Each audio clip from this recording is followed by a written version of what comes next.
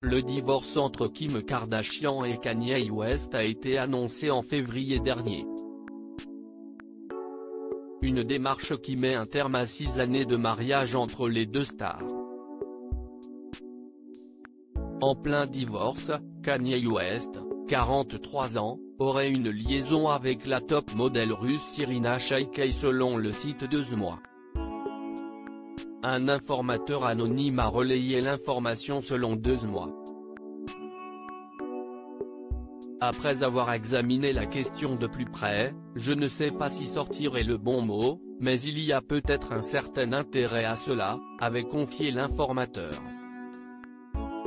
Cependant, un autre informateur à deux mois insiste sur le fait que Kenny et Irina sortent véritablement ensemble. Cette relation n'est, pourtant, pas une surprise. Après tout, Irina et Kenny sont liés depuis plus de dix ans maintenant. Rappelons que la top modèle incarnait un ange dans le clip Power de Kanye West en 2010. Dans le clip, elle portait un habit doré et une paire d'ailes.